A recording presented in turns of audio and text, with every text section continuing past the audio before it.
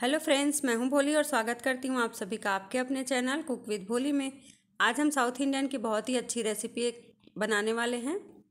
और अब इसे हाथ से मसल मसल कर इसका सारा जो पल्प है, उसे हमें निकाल लेना है अलग से। और एक छन्नी में डाल करके इसे चम्मच की सहायता से इस तरह से छान हिलाते जाइए आप। सारा पल्प जो है वो नीचे आ जाएगा और जो इसमें रेशे वगैरह हैं वो अलग निकल जाएगी। तो लीजिए, इसे मैंने छान लिया है। अब ये जो इमली का वेस्ट बचा हुआ है, इसे आप फेंके नहीं इससे आप तांबे या पीतल के बर्तन साफ़ कर सकते हैं। इससे बर्तन एकदम चमक जाते हैं। थोड़ा सा नमक डाल लीजिए इसमें और बर्तन साफ़ कर लीजिए, बहुत अच्छे साफ़ होते हैं इससे। और यहाँ पर लगभग तीन बंच मेरे पास धनिया की पत्तियाँ हैं। इसे मैंने तोड़ लिया है और जो मोटा मोटा डंठल था, उसे मैंने अलग निकाल लिया है। और धो करके अच्छे से इसे साफ़ करके रख लिया है। अब इसमें बिल्कुल पानी वगैरह नहीं है। अब इसे चाकू या कैंची की सहायता से एकदम बारीक बारीक काट लीजिए आप। और जो मोटे डंठल होंगे ना, उसे हटा दीजिए, क्योंकि खाने के टाइम ये मुँह में आते हैं तो अच्छे नहीं लगते हैं।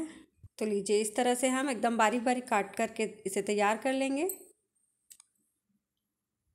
अब यहाँ पर एक कढ़ाई चढ़ाएँगे, और उसमें तीन टेबल स्पून राई के दाने डालेंगे। एक चम्मच जीरा है और आधा चम्मच मेथी दाना है। तीनों को हमें हल्का सा भून लेना है। तो इसका कलर चेंज नहीं करना है हमें। हल्का सा इनका मॉइस्चर ख़त्म हो जाए। बस इतना ही भूनना है हमें। तो लगभग दो मिनट के लिए भून लेंगे इसे हम। तो गैस को बंद कर लेते हैं। ये भून चुकी है अच्छे से। इसकी खुशबू भी आने लगी है। और अब इसे कूट करके दर दरा सब इसका पाउडर बना लेना है। अब वापस से उसी कढ़ाई को चढ़ाएँगे। और इसमें जो इमली का पल्प हमने निकाल करके रखा है, उसे डाल देंगे।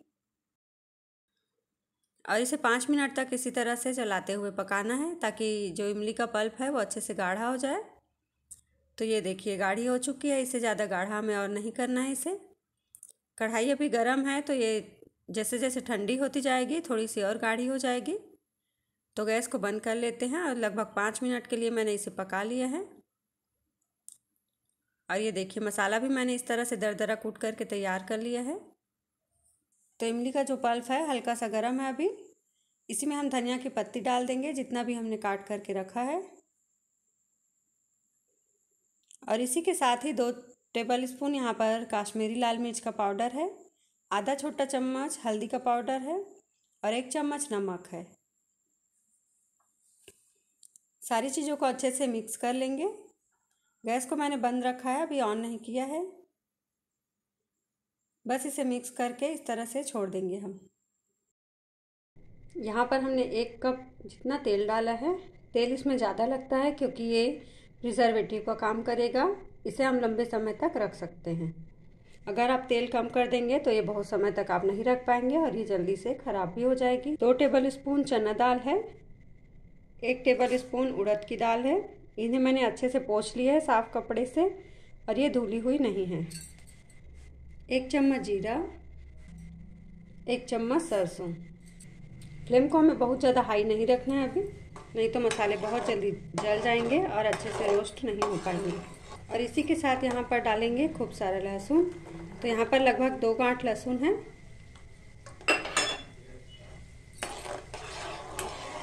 तो लहसुन यहाँ पर मैंने पूरा डाला है। आप चाहें तो यहाँ पर काट के भी डाल सकते हैं। लेकिन जब पूरा लहसुन आता है ना खाने के टाइम में तो इसका टेस्ट बहुत ही अच्छा आता है। फ्लेम को हमें लो ही रखना है और मसालों को अच्छे से भूनना है। तो लहसुन का कलर हमें हल्का सा चेंज करना है। तो ये देखिए, लहसुन का कलर हल्का सा चेंज हो चुका है। तो यहीं पर अब हम डालेंगे इसमें खूब सारी सूखी हुई लाल मिर्च। तो यहाँ पर आप अपने टेस्ट के हिसाब से डाल सकते हैं, क्योंकि इमली बहुत खट्टी है, बहुत ही चटपटा सा ये बनेगा। इसलिए मैंने यहाँ पर इतना डाला है, और ये बहुत तीखी है, लाल मिर्च। और इसी के साथ हम डालेंगे यहाँ पर ये सूखी हुई मीठा नीम की पत्तियाँ। आपके पास ताज़ी है तो आप वो इस्तेमाल कीजिए।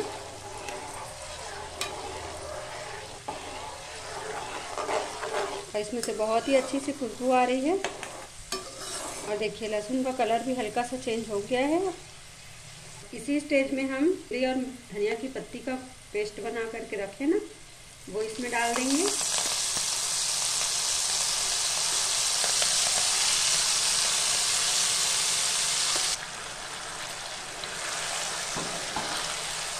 देखिए, इसमें अभी तेल बहुत ज़्यादा लग रहा होगा आपको, लेकिन जैसा कि मैंने आपको बताया है, तेल इसमें बहुत ज़्यादा यूज़ होता है। क्योंकि हम इसे लंबे समय तक रखना चाहते हैं इसलिए और अगर आप थोड़ा सा बना करके पहले टेस्ट करना चाहते हैं तो थोड़ा कम तेल में भी आप इसे बना करके थोड़ा सा यूज़ कर सकते हैं। लेकिन यकीन मानिए, इतना सारा जो आपको लग रहा है ना, ये बहुत कम पड़ जाएगा जब आप खाने बैठेंगे तो। और चावल के साथ बना रही हूँ मैं आज तो इसे। आप चाहे तो रोटी या पराठे के साथ भी इंजॉय कर सकते हैं। और ये बहुत ही टेस्टी लगती है खाने में। और साउथ इंडिया में ये बनाया जाता है। वहाँ की ये पारंपरिक है। और इसका नाम तो मुझे नहीं पता जो भी था, लेकिन बहुत ही टेस्टी लगा मुझे खाने में। तो मैं इसकी रेसिपी आप लोगों के साथ शेयर कर रही हूँ।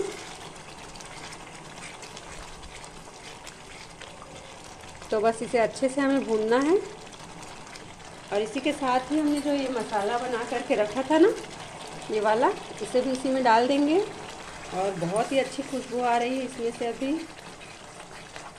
और साउथ इंडिया में ना, इस तरह से इमली की बहुत सारी रेसिपी बनाई जाती है।